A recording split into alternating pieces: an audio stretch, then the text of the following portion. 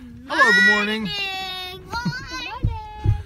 um, we're driving home um, from Mass this morning, and uh, I thought we'll uh, we'll try to do this commentary uh, before we miss out on the important point that uh, I think we we need to comment about regarding this gospel today. I already made a comment about this gospel. Uh, um, I think during the time of um, Advent when uh, we also read the same gospel from St. Matthew. It's from St. Matthew chapter 18, verses 21 to 35. It's about that gospel where our Lord talks about forgiving uh, our neighbor 70 times 7 times. Okay? Meaning, really, technically, uh, as far as the Jewish um, interpretation of uh, that 7 uh, means, is that uh, it's really infinite, and our Lord uh, even even took it to the extreme, um, saying 70 times 7, or sometimes some other gospel text would say 77 times. Whatever um, uh, translation we prefer to listen to, uh, the number 7 really uh, indicates infinity. So our Lord is advocating that, or is teaching that we forgive our brothers many, many times. Practically, it's an infinite count. There's no, there's no limit to the forgiveness that uh, Jesus wants us to exercise. Okay. And uh, our uh, Lord also taught us uh, through the uh, Lord's Prayer, the Our Father, well, um, forgive us our trespasses as we forgive those who trespass against us. So forgiveness is very much part of our um, practice of our Catholic faith. But I think there's one thing we need to emphasize, which um, sadly, uh, uh, you know, even during that whole year of the Year of Mercy, which uh, Pope Francis um, inaugurated, uh, was that uh, a year or two ago? um, you know, the year of mercy, we heard plenty of preaching about the mercy of God. Mercy, mercy, mercy. And uh, it's fantastic that we, um, that the, the Pope had devoted plenty, uh, I mean, the, uh, an entire year on the talking about the mercies of God. And our priest spoke about mercy um, countless times uh, from the pulpit. Today again, there was that opportunity to talk about mercy, to talk about forgiveness. But you see, sadly, there's one thing that uh, people are not talking about these days. and uh, we heard very little about it also, even during that year long celebration of mercy. And what is that very important point about mercy that people are forgetting about? It is that aspect of repentance. Yes, God is all merciful God forgives and God will always forgive. But what we are forgetting about is that God forgives, God is merciful to those who repent. Okay? Forgiveness is not automatic, so to speak.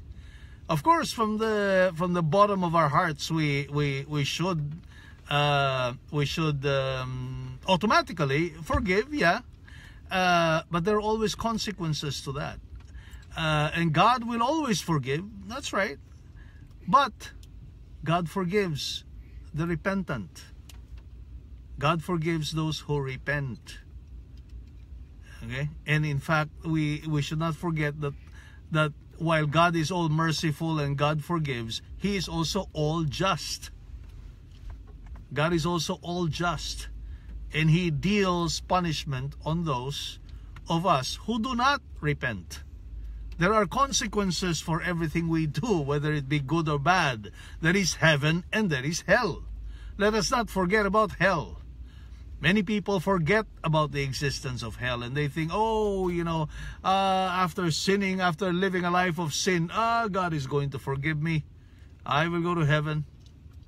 Well, guess what? That is the sin called presumption. Okay, that's the sin of presumption. God is not going to just forgive you. You got to repent for your sins.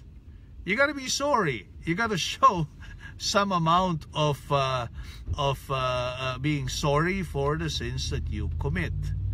Okay, and let's not forget that. And and in fact, to emphasize that, God Himself, Jesus Himself, has instituted an entire sacrament. It's called confession, so that we can repent from our sins and say sorry to God and and uh, approach him with a sorrowful and humble heart confession and now that we are at the season of Lent this is a very very good season to exercise and practice this particular sacrament with more devotion with really more sincere sorrow and repentance from our sins so folks let's not forget that this season of Lent, let us also talk about repentance, not only talk about uh, forgiveness. Let us not forget repentance. Repent, repent, repent from our sins. And there's plenty to repent from, I'd like to bet, right? All of us. For all of us. Let's not fool ourselves. Let's not fool ourselves. Our human nature is such that we know, if we understand ourselves, if we really know ourselves and understand human nature, we know uh, uh, uh, how steeped we are in sinfulness. And there's plenty, plenty to be sorry for. I would be the first. I would be the number one uh, sinner who understands how sinful I am. And that is why we I go to confession every week. Every week. Uh, and the, the, the week or the day we forget or we miss confession for whatever reason, it's just so hard to it's like it's like it's so hard to go through that whole week uh, having missed confession uh, for that week right uh, uh we are the first people who understand the need for repentance and we go to confession every week. So folks, I would encourage you this season of Lent there's plenty more time before Holy Week and you know before the whole season of Lent is gone. Uh, let us think about repentance, repentance, repentance from our sins. Go to confession. I'd encourage all of you make a good and sincere and contrite confession. It's a good stress reliever, to say the least. And we will obtain plenty of graces from God for making a very, very good confession. Okay, that's it for us this morning, folks. Have a good day. Bye bye. Bye. I want to say goodbye, everybody. Where's everybody? Oh, we're still all sleepy. I guess. Shabby, where are you? We can't see you.